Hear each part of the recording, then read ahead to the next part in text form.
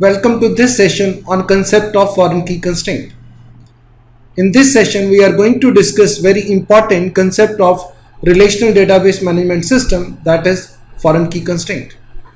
In this session we will discuss why there is a need of foreign key to enforce integrity of data. We will discuss its syntax and we will highlight different options in the syntax to enforce foreign key constraints. Let's start this session. Let us understand the concept of foreign key constraint through employee department database. For this, we have employee table. Here, we have employee number, employee name, job and department number as its column. And I have inserted 5 records. In our university, let's suppose only 3 departments are allowed and that is 10, 20 and 30. I cannot apply check constraint for this because departments can be added or removed in future. For this, the solution is foreign key.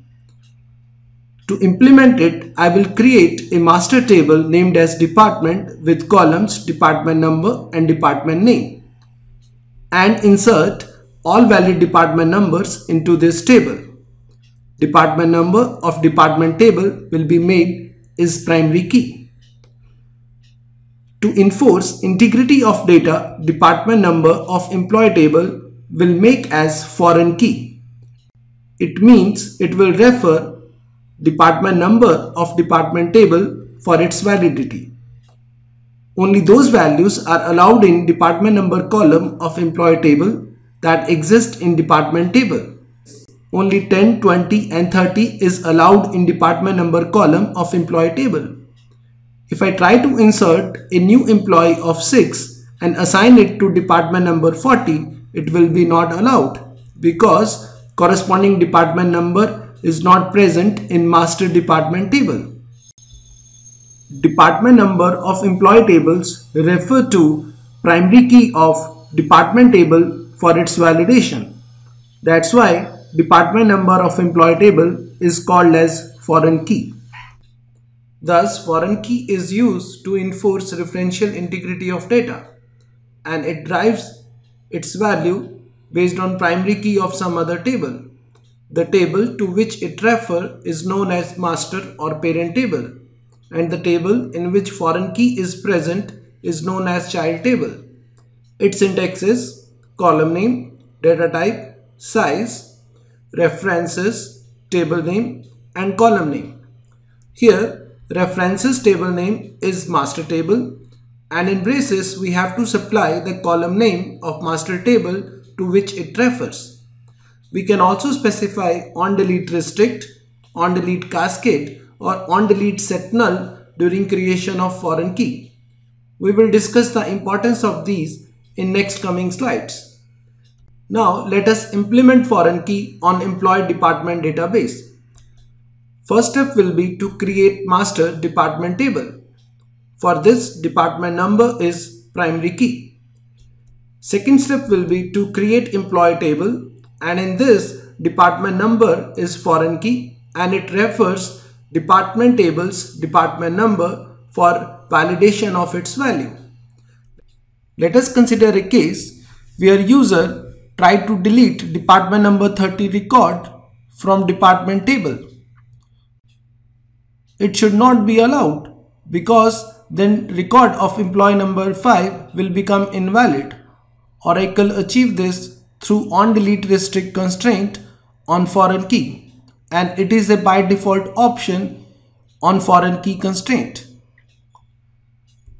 But what will be the solution if we have to delete department number 30 from department table? Then the solution is on delete cascade constraint where department number 30 will be removed from both department and employee table at the same time. So if we issue this statement with on delete cascade constraint then department number 30 will be removed from department as well as employee table. It means if department closes then corresponding employees will be fired. But sometime we wish to remove department number records without deleting corresponding employees. then, then the solution is on delete set null. In this, corresponding records of employees will not be removed, but their department number will be set to null. Here, department number 30 has been removed from department table, but their corresponding employee exists and its department number will set to null. We achieve this through onDelete set null constraint. To implement these concepts, we can specify it during creation of foreign key constraint. Here, department is a parent table and employee is a child table. We have applied onDelete restrict constraint during creation of foreign key. It means we cannot remove master record or parent records if they have their corresponding child record present in child table. We can also specify on delete cascade to remove both parent and child record at same time.